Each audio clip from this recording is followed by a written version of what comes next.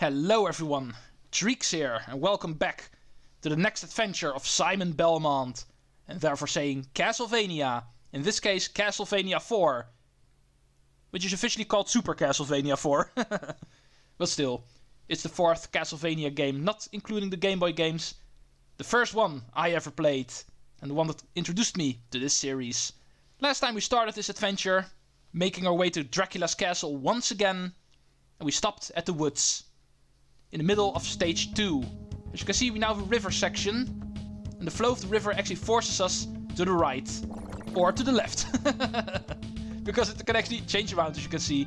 And while being crouched, we can't even move forward anymore. That's pretty much the strength of the flow, you might say. Screwing up your controls majorly. And it seems to be changing up every 15 seconds or so. Actually a set pattern to that. Gargoyle? Apparently not an issue. they look intimidating, but they die in one hit. yeah, it's around 15 seconds on the timer, it looks like. And going downward against the flows looks like something that should not be easy. Simon must have strong legs.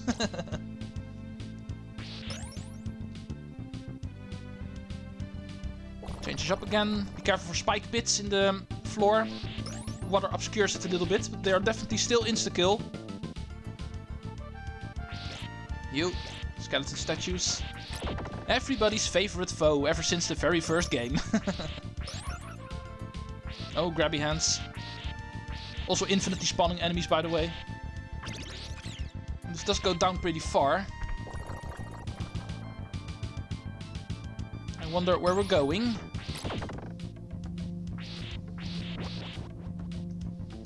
Going deep, deep underground. Still nothing really too challenging. Just some enemies on occasion. And the occasional spike pit. But all of all, they never really make it too hard, despite the water flow. And this stream, bringing us underground, leads us to the caves of stage 3 we're also moving upward again into some ancient ruins, it looks like. Welcome to the caves. Luckily, unlike in Castlevania 3, there's no poison leaking from the ceiling this time around. it's just water drops. Don't have to fear those. But in Castlevania 3, we were much later in the game, of course, the moment they actually started introducing that stuff. Stage 3 is a little bit too early for stuff like that. So as you can see, the water is safe to actually stand under.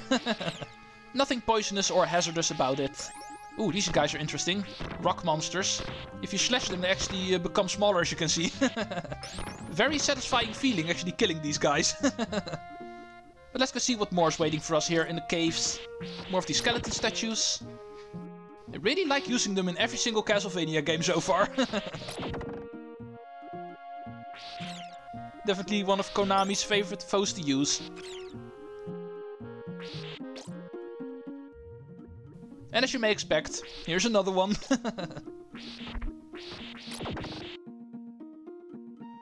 Ooh, we're entering a screen scroll area it looks like. This cave is turning into something explorable, almost. Here's an axe.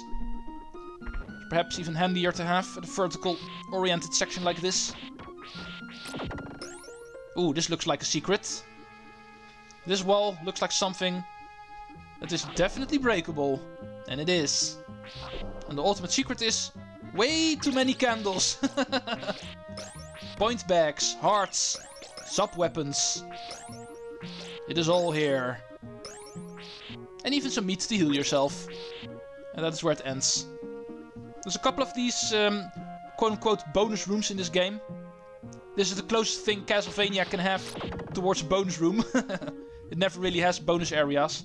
But it can have hidden alcoves like this. Functioning as the bonus rooms of this game, you might say.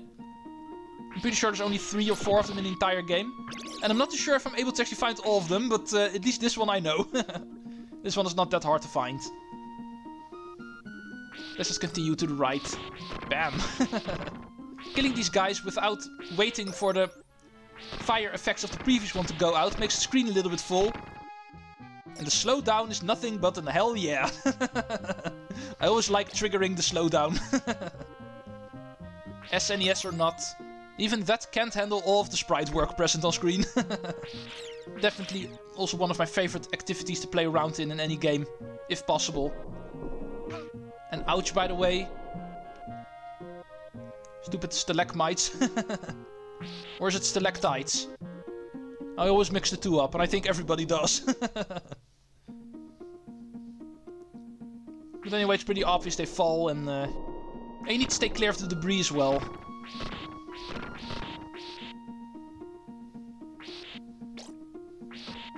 After a long trek, that is finally the end of stage 3-1. And we move on to the waterfall section we saw on the overworld map. Stage 3-2.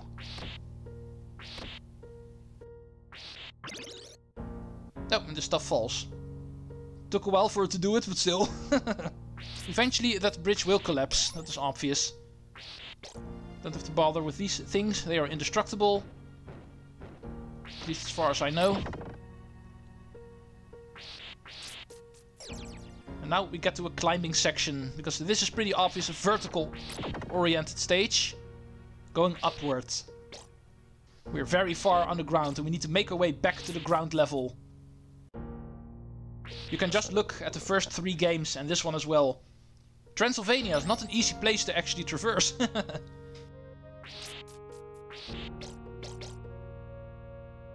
Getting to the castle is an adventure at itself.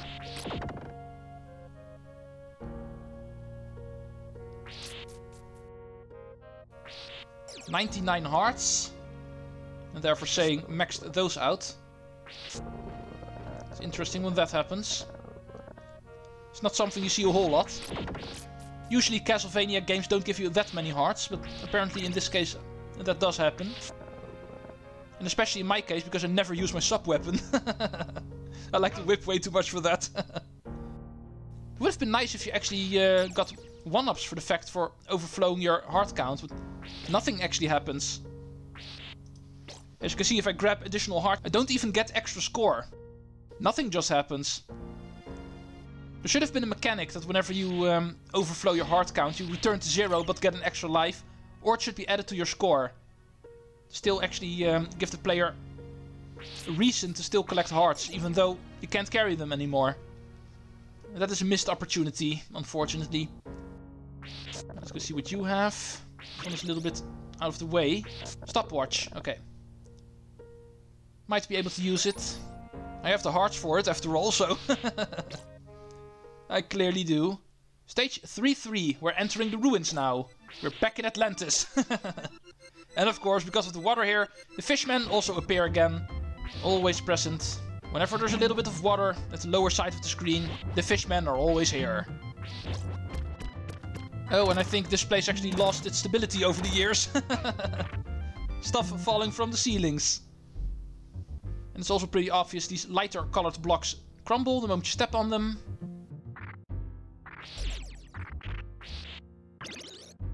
Oh, you're also here. All these returning enemies, man. Gotta love them. Oh, speaking of returning enemies, look what we have here. One of my favorite foes to mess around with. And especially in this game, because tickle, tickle, tickle. oh, why is that move so fun to use? if only that move was already in Castlevania 3. Because then, that game would be the best game ever made. tickle, tickle. and it's not just fun to use, because as you can see, if you actually perform it correctly, you can also stun lock enemies that way. Even though it does a little bit less damage than a normal whip slash, the fact that you actually constantly hit the enemy also makes sure the enemy does not get a chance to attack himself.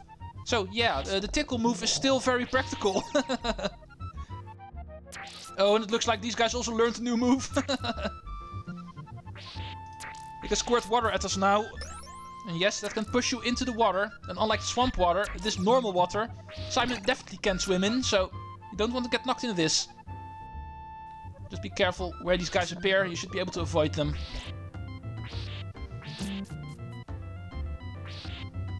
Move up again. That's where the screen ends. but not per se the stage. Oh, I see you over there on that wall. Something's trying to sneak up on us. We're not going to let that happen. It's pretty obvious if you actually get close to these guys. They will pop out of the wall and try to hit you. Pretty predictable.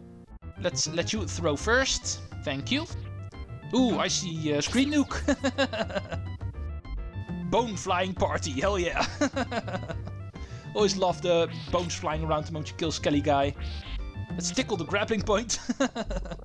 Ooh, awesome. Simon is like, words to the player, I'm getting wet here. oh, oops.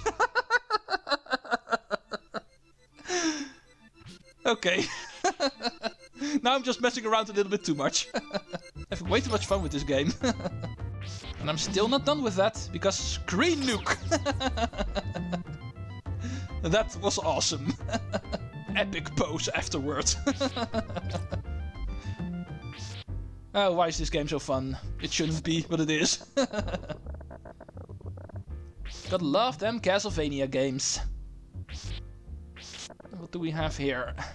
Crumbling blocks, I see. So, the moment you actually fail this, you're forced to kill yourself, because there's no way to retry, as you can see. Be careful. Let's move on to the vertical screen of stage 3-3. There's another dragon head we can tickle.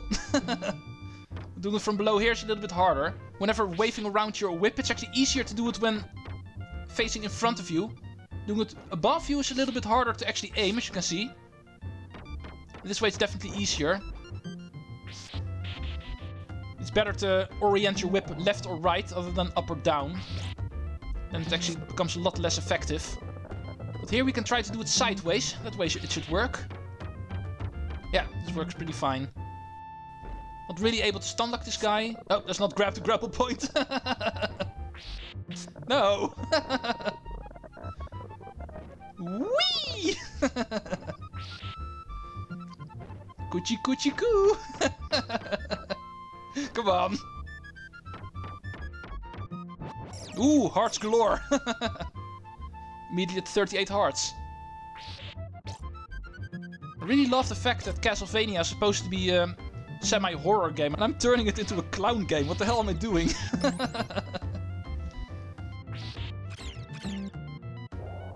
oh, waterfall just turned on. As if Simon wasn't wet enough already. oh, meat. Thank you. Let's see if this works. Yeah, you I can reach. Going higher and higher. Actually leaving behind the water, it seems. Because where we are right now, it looks like a lot drier than we were just a moment ago.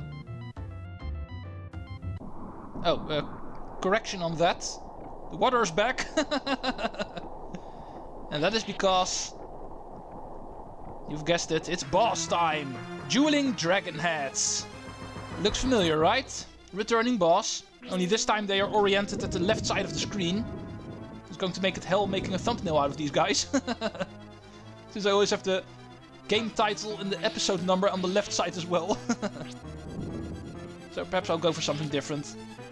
But at least the boss fight itself uh, speaks for itself. They will actually try to burn us with their uh, purple fire or blue fire. Not really the way fire is supposed to look, but in a fantasy game we can forgive that. and other than that, they move around their heads, so we just need to make sure we hit them in any way we can. Oh, here's number one. And the second one is one hit after it. And that was stage three. Also really love the ending of stage music in this game. Feels really epic.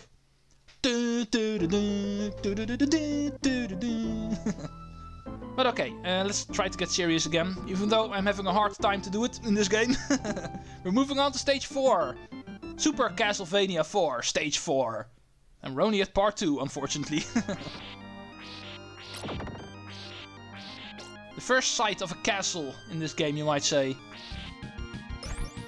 Not quite Dracula's castle yet, go away, you! Stop living in the wall. yeah, this is a little bit of um, smaller castle, a watch out tower, you might say, on the overworld map. but already in a castle setting like it's supposed to be. The game is called Castlevania after all, so we want to be adventuring in a Romanian medieval castle. Oh, more people living in the wall. more people living behind the wall. I see you. Not too sure how you're supposed to reach me, because you're a club-using enemy. And therefore, that is a pretty weird place to actually uh, place that enemy. but still. Konami apparently thought that was a good idea. Let's see what we can find up here.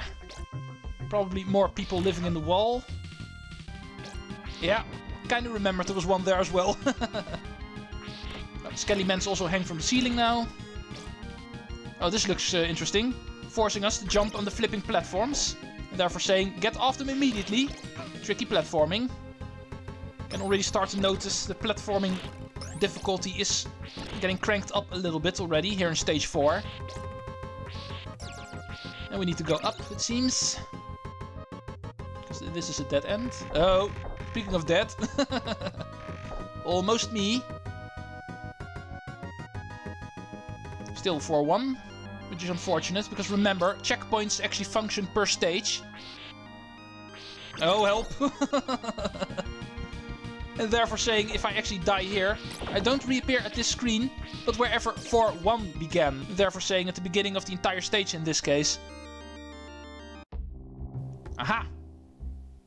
Let's see what you're hiding here. Nothing, really.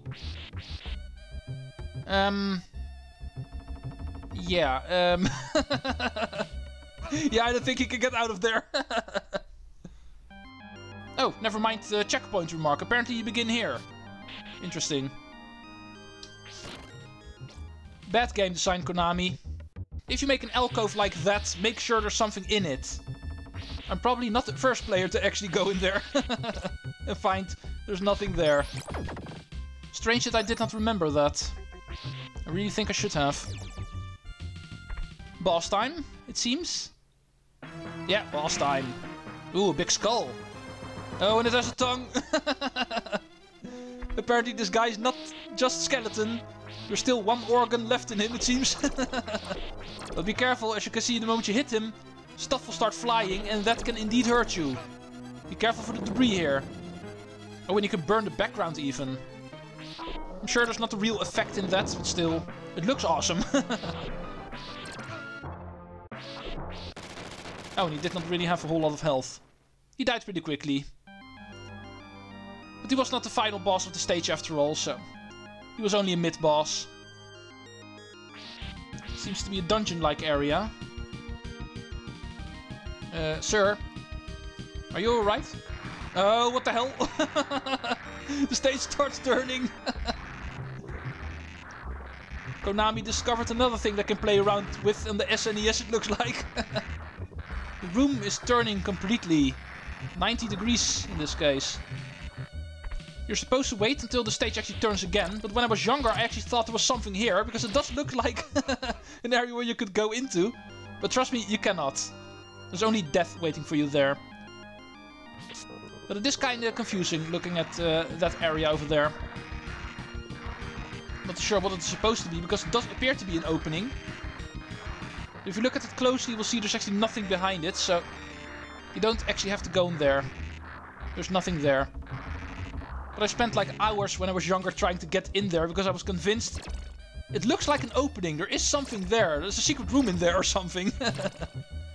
But as far as I know, after all of these years, there is indeed not.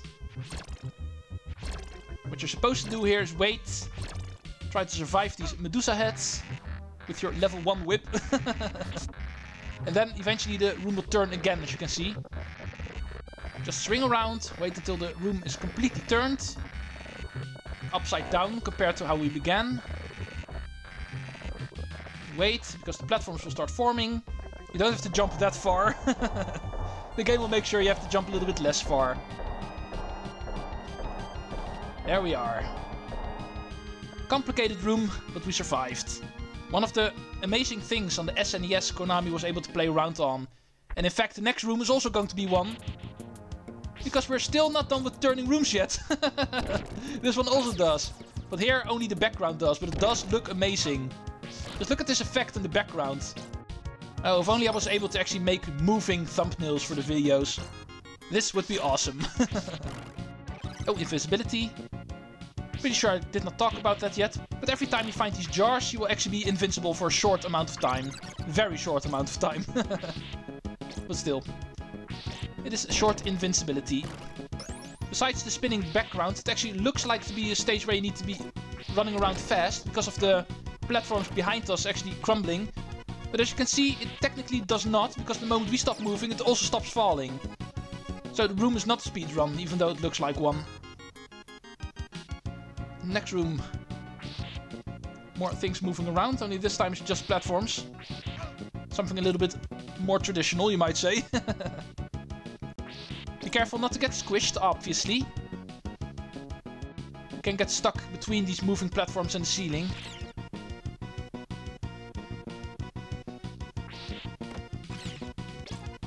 I don't think there's anything on the lower path, so allow me to ignore. Moves up even further, but I'm pretty sure there's nothing there. Just a death squish. Let's just move on. Also a location I've been exploring when I was younger, and I'm pretty sure there's nothing there as well. And here we need to keep on running, because this moves up pretty fast, as you can see. As far as Simon can run, because there's still no dash button in the Castlevania game. Not at these early ones, at least. Not saying too much about later ones. Let's save up on that spoiler alert. For people who are not familiar with later Castlevania games.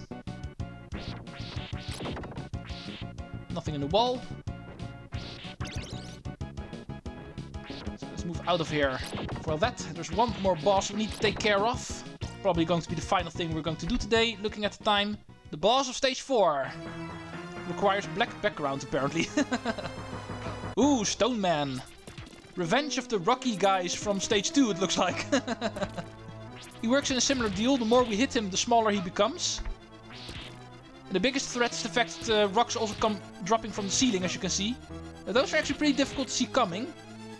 And therefore, that is uh, by far the most difficult attack this guy has. Other than that, it's pretty easy to avoid him. He never goes all the way to the edge of the screen, and therefore, that is always a safe haven for you. All of all, not a hard boss. He just has a hard body. Let's finish today. Still alive, barely, but still. We got full health after the stage, like always.